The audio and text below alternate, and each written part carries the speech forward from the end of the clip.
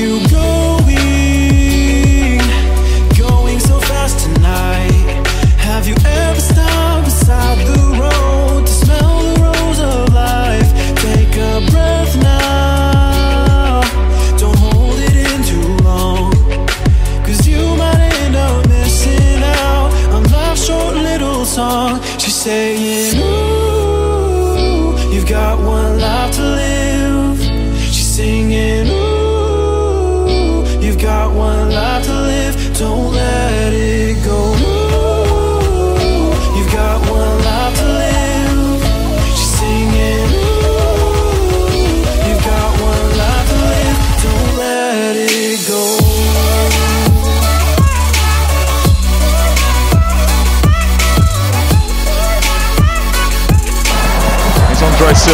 Here's Cristiano Ronaldo.